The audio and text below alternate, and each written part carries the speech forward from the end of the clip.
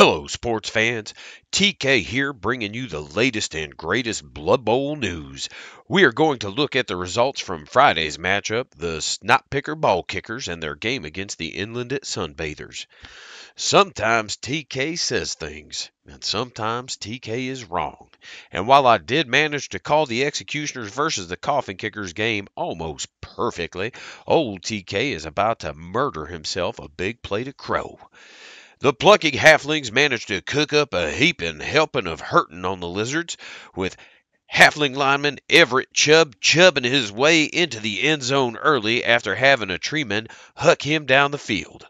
On the next possession, Burn Herb showed that his bark is as bad as his bite, inflicting a casualty, knocking Soros Matsuzusker out of the game. Then late in the first half, lineman Isengram mangled Becatus, reducing his armor by one.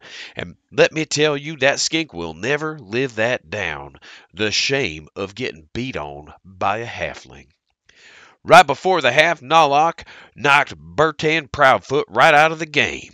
From there, the game stayed relatively quiet and uneventful until Otho Underhill waddled his tubby chubby butt right in the end zone to give a final score of 2 to 0. The Halflings also beat the Lizards 2 to 1 in casualties. I guess the Islanders coach did not get the memo. Old TK laid the plan out for him in the last video, gave the Halflings the ball first, stay deep, don't fight the tree men and make them play an attrition game. If you do that, the win should be yours. But not everybody is open to advice. Round two is underway. The executioners are pulling the bye. Who do you do is taking on the snot picker ball kickers in the first game of the of the round. This looks to be a little bit different matchup for the ball kickers. The Tomb Kings team will have the meat, so to speak, to go toe to toe with the tree men, and with no stinky skinkies, the halflings will really struggle to get people down. They will need to pile on a single player just to get him on the pitch.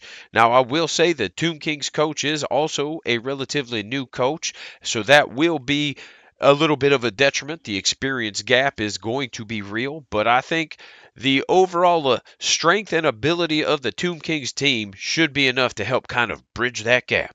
Will the Halflings be able to cook up another win and get themselves a second breakfast, or will the Tomb Kings have them packing their bags and crying for mummy?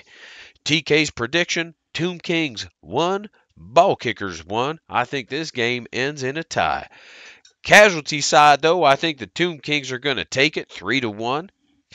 The second game of the round is going to be the Sunbathers, and they will be taking on the Coffin Kickers.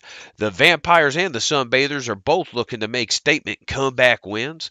The Vamps have the agility and the ability to outmaneuver the Lizards, but boy, do those Lizards hit hard. Old TK thinks those Coffin Kickers are looking to change strategies and give up the ground and pound and try an aerial assault instead.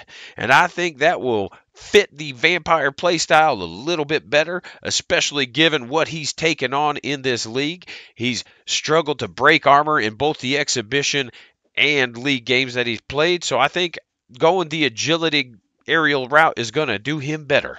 Will the coffin kickers get scorched by the sunbathers, or will they hypnotize those lizards and put them into a grave situation? TK's picks, I think the coffin kickers, I think they have themselves a bit of a barn burner here, and I think the final score is three to one. And I think most of that comes through the air. Casualties, I think coffin kickers are going to get one, but I do think the sunbathers will hold the advantage there. I think they'll get two total. Thank you for watching, and stay tuned for more Blood Bowl action.